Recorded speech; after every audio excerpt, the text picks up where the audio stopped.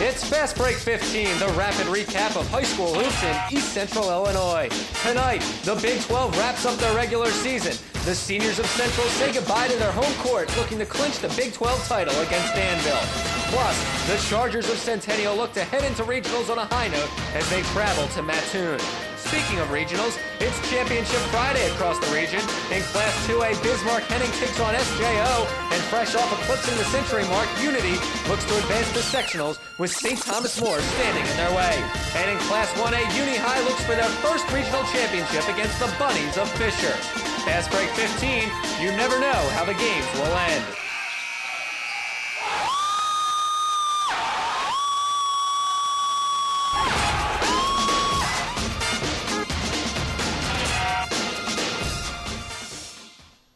Good evening, everybody, and welcome to another edition of Fast Break 15. What a time of year! The regular season is coming to an end, and the moments these teams have worked for for the entire season are just around the corner. That's the case for the Central Maroons in action tonight, looking for, to win the Big 12 championship against Danville.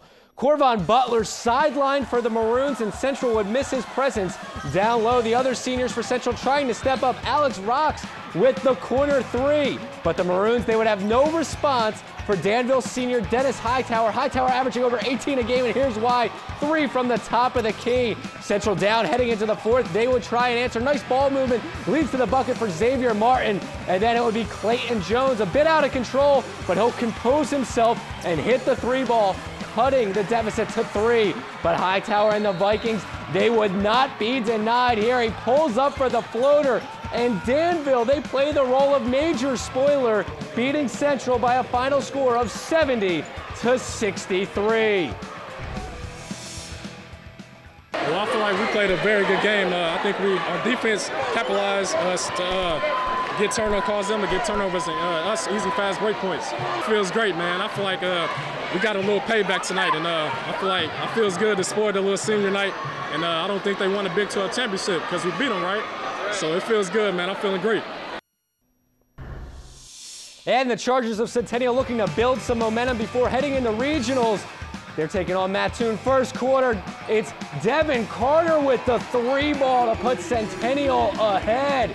Then it would be Philip Wright. Nice pass by Talon Alexander. Down low to Wright for the bucket.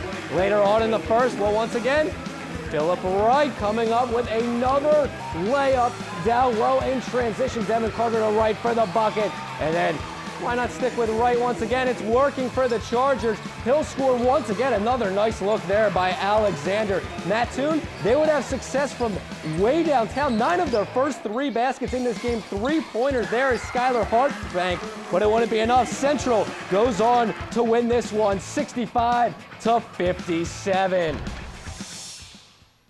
And while the Big 12 wraps up their regular season Friday evening, other teams across the area already well in the regional playoffs. It's Championship Friday in Class 2A Westville region as top seed Bismarck Henning looks to advance to sectionals, taking on number two seed St. Joseph's Ogden. We're from Bismarck Henning, and I feel the game's going to be uh, 52 to 50, a real close game. Yeah, we got to play good defense, uh, get a little payback from last year. It was a rough loss last year. So. It's going to be a battle tonight. Yeah. Championship Friday in Class 2A here. Would Bismarck get revenge? Well, early on, Chase Patton with the corner three.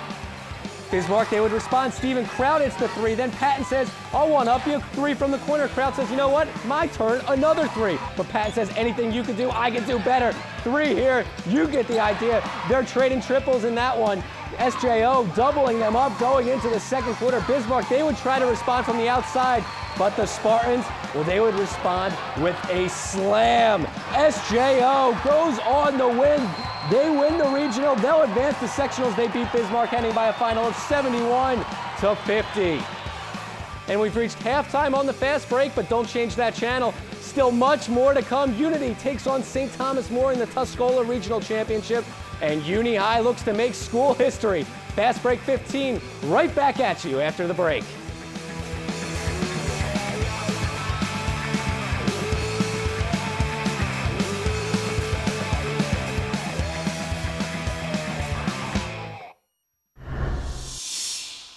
Welcome back to Fast Break 15. We've already seen St. Joseph's Ogden advance to the Class 2A sectionals, but who would join them from the Tuscola Regional Championship? Fresh off their 102-point performance against Monticello Unity, looking for a big win against the Sabres of St. Thomas More. Pick things up in the fourth quarter here for St. Thomas More. It's David Cochran hitting the bucket, cutting into the lead, but Unity, they would be too much on this night. They would hit their free throws down the stretch, and the Rockets will win the regional trophy by a final score of 57 to 47. They advance to sectionals next week.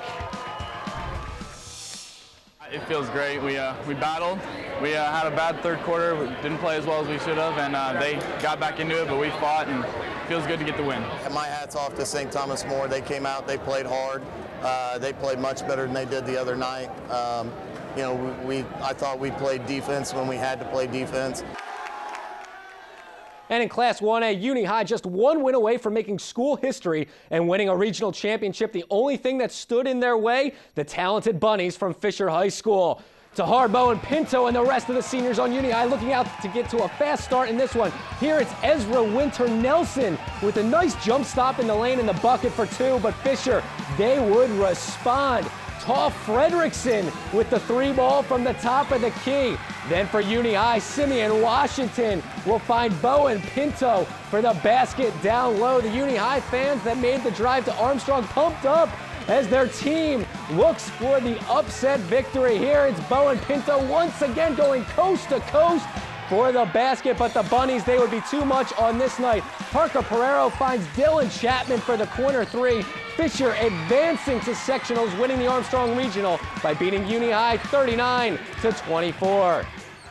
Turning our attention to girls hoops, Cowden Herrick just one victory away from a state championship appearance. Standing in their way, Taylor McClintock and the Illini Bluffs pick things up late third quarter. CHBC tries to pull away. Avon Perluski hits the three to put the Hornets up big, but they would have no response for McClintock. She sets an IHSA state record with 14 field goals en route to a 38-point performance, but CHBC able to break the pressure and advance to the IHSA state Class 1 championship game, beating Illini Bluffs 63 to 54. Who will the Hornets play in the title game?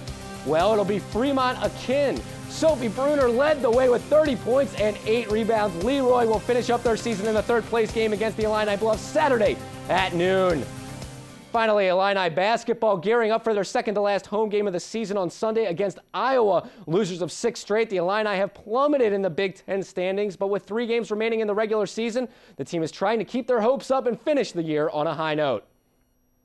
We gotta stay focused. You know, I think this next practice is gonna be really competitive. So, as long as we bring that competitive spirit to the court, you know, realize that you know, other people might not might think it's over, but we don't. We still in our mind don't think it's over. You know, we can come in and get these wins, and uh, looking forward to playing better. I always feel like I've been a top dog, you know, ever since I was growing up, and I've always been able to overcome things uh, in my life, and you know, especially in sports. Uh, but I've never been through something quite like this. Uh, it's been tough. There's no doubt about it. Um, especially, you know, being one of the notable players. Uh, it's tough. Uh, you know, I'm just trying to lead these guys and, you know, get everyone together along with Brandon and DJ. You know, just to try to make a final stretch here because you know, off the court, we love each other. We love each other on the court. But, you know, we just been through a rough stretch, and hopefully we can put it all together before time runs out. So the Illini will look to snap the worst losing streak in the Bruce Weber era on Sunday against Iowa. And one final score for you, Urbana beats Decatur Eisenhower 67-63. That's it for Fast Break. Have a great weekend, everybody.